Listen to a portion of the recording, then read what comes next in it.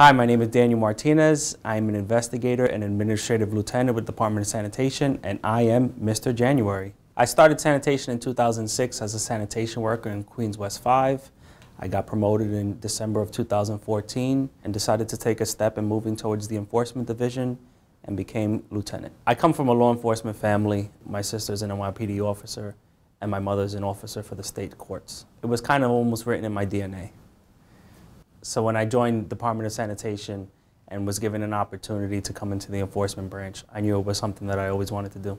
So the enforcement division maintains the integrity of the Department of Sanitation. I make sure that as a department we're in compliance with the freedom of information laws set forth by New York City.